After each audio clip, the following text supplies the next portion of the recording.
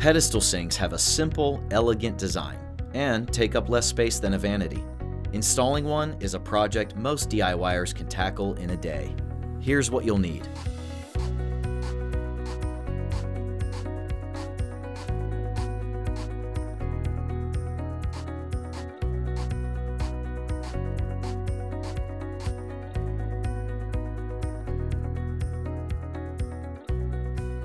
To begin, use a stud finder to locate the wall studs where you'll fit the mounting brace.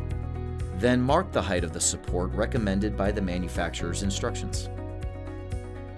Next, carefully cut a hole in the wall based on your measurements, making sure not to cut any electrical or plumbing fixtures.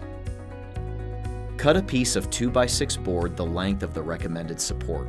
Then, cut a notch out of the studs to fit the 2x6 board so it sits flush inside the studs. Screw the brace into the studs. Patch the wall using a piece of drywall. Then tape, adding a layer of joint compound. Sand the surface until smooth. Paint the patched area to match your wall.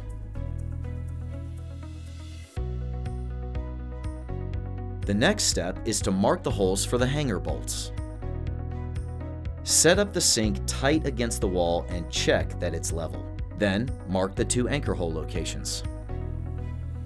Move the pedestal sink aside and drill the holes. The next step is to install the faucet. Insert the pieces of the faucet into their respective holes in the sink basin. Thread the provided gasket and nut onto the underside of each of the faucet's fittings and tighten. Then add the handles.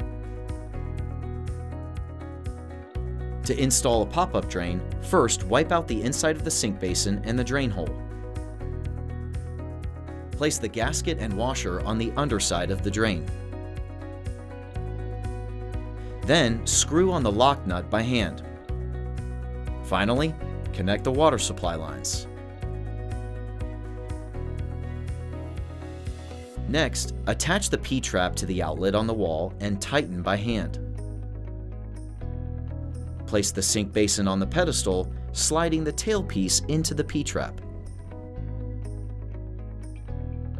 Check the level of the sink, then secure the sink with hanger bolts.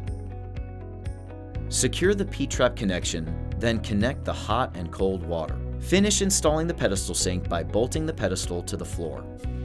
Turn the water on and check your connections. Pedestal sinks are a sleek, space-saving solution for any small bathroom. Good luck, and thanks for shopping at the Home Depot.